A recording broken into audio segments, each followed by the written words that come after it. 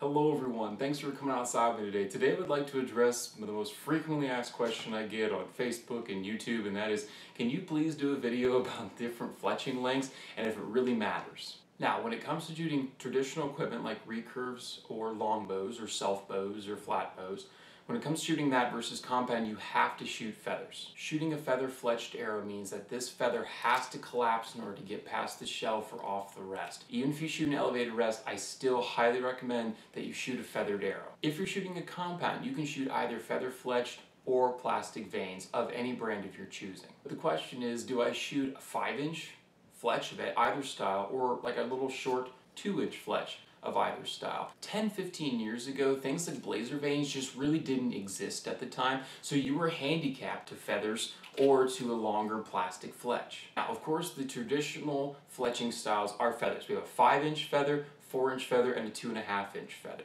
This is a big hunting arrow, this is also a medium-sized hunting arrow, and this is a competitive target shaft. The thought process is the bigger and heavier your arrow, and particularly if you're shooting a big fixed blade broadhead on the front end, the bigger your fletching needs to be. For something like an indoor target paper shoot, you don't need that much stabilization, so you can get away with a much smaller fletching. But in today's world, the technology has absolutely exploded. Things like carbon arrows have come so far great fletching styles. Feathers are even better than they used to be. The plastic fletchings that we have today, things like Blazer vanes and Fusion X vanes and AAE fletch like that, they're just so much more phenomenal than they were 10, 15 years ago. So here's the question really everybody wants answered. This is a 5 inch plastic fletch vane and here we have a 2 inch Blazer vane. Really, this is what people are looking at when it comes to what am I going to shoot. Unless you're a crossbow shooter or you're exclusively an indoor archer, these long plastic vanes are pretty much outdated. When we started seeing different options other than feathers, and I couldn't put an exact date on that, but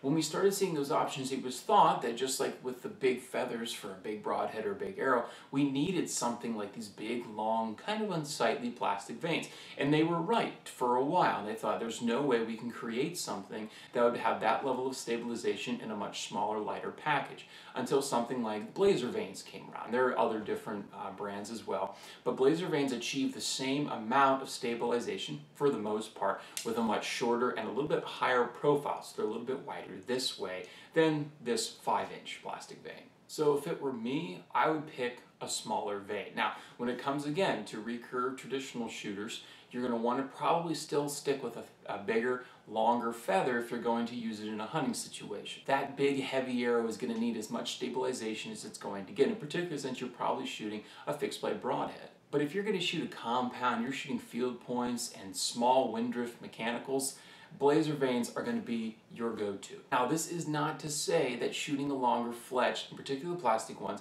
is a bad idea or it's going to hurt you and hurt your bow and hurt the performance and hurt your accuracy. That's not true at all. Some of the things that will, however, add a disadvantage, it's going to add more weight to your arrow, so your arrow is going to be slower, which again, could not be a bad thing if you want that slower, quieter bow. I, for one, do like a slower, quieter bow, but I do shoot pretty heavy arrows even with blazer vanes.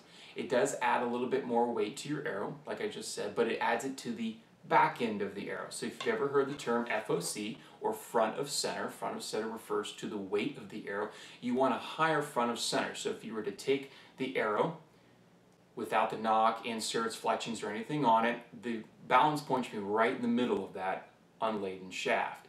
As soon as you start adding weight, it should hopefully that center point slide forward towards the point, and that is your front of center, right? So here's your center line, you want to be front of center. Normally you want to have, with a lar larger, heavier hunting arrow, you want to have a, little bit higher front of center than the target shaft. If you add a big long um, plastic vane, particular feathers are a lot lighter. If you add a big long plastic vane, it's going to slide that front of center back a little bit. So it does add more mass weight to the arrow, but necessarily not on the end that you want. So if you want an answer, traditional shooters, you have to have feathers.